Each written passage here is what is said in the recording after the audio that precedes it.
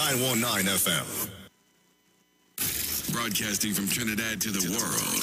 The Street 919FM.com. News from the Street 919FM.com. Here's what's happening. Good afternoon. I am Vanessa Thomas with the 12 o'clock news on the street 919 FM and online Facebook and YouTube, sponsored by the Sea Champion. In the headlines, the Prime Minister speaks with South African President on vaccine purchase. Supermarket rush ahead of weekend shutdown. The police commissioner insists pre curfew roadblocks necessary, promises more. And internationally, no Notting Hill Carnival this year as UK sees a surge in COVID 19. And now the news in detail. Prime Minister Dr. Keith Rowley has met with President of South Africa Cyril Ramaphosa to discuss the delivery of vaccines. Rowley, who is also chairman of CARICOM, met with Ramaphosa via teleconference yesterday, the office of the Prime Minister said. President Ramaphosa is the African Union champion for COVID 19 vaccine strategy and acquisition.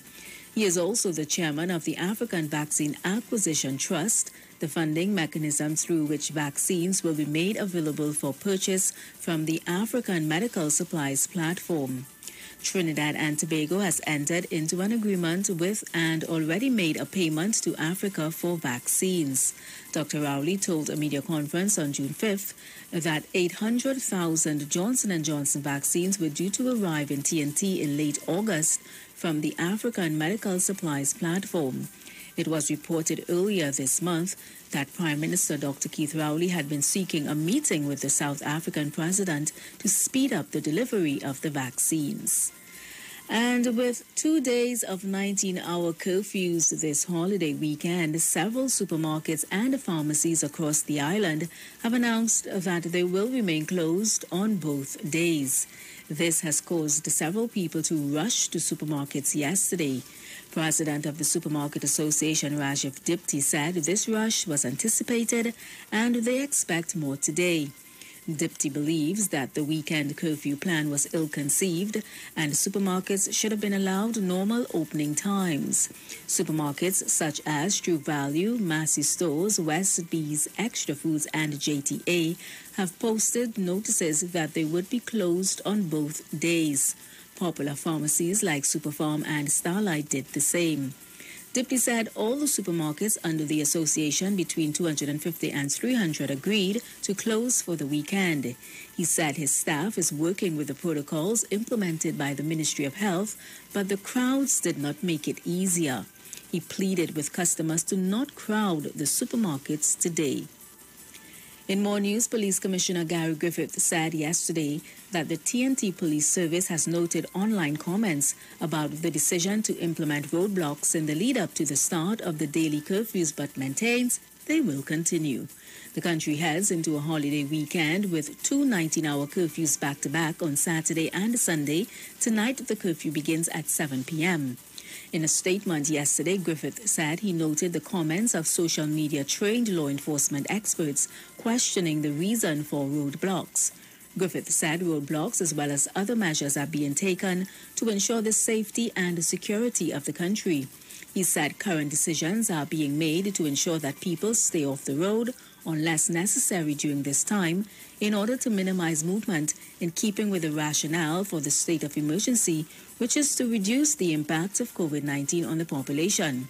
Commissioner Griffith takes this opportunity to remind the public and make citizens aware that the roadblocks are necessary and are not to inconvenience anyone, the release stated. Internationally, there will be no Notting Hill Carnival on the streets of London this year. The board said via a notice that the annual festival has been cancelled for the second year in a row due to the uncertainty of the COVID 19 virus. The release says this has been an incredibly difficult decision to make.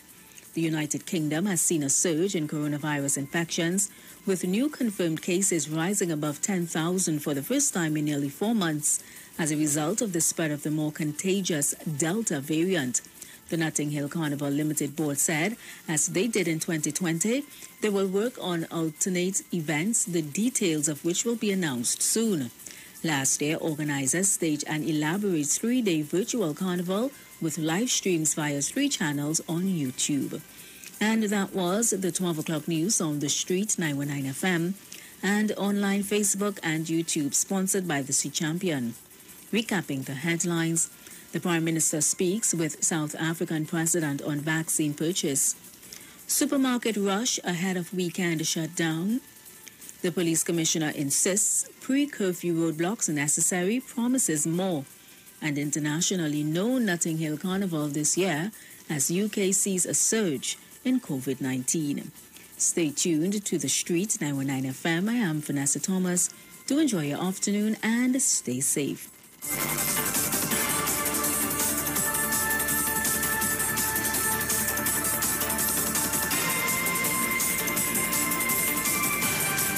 News from the street. News from the street. 919fm.com.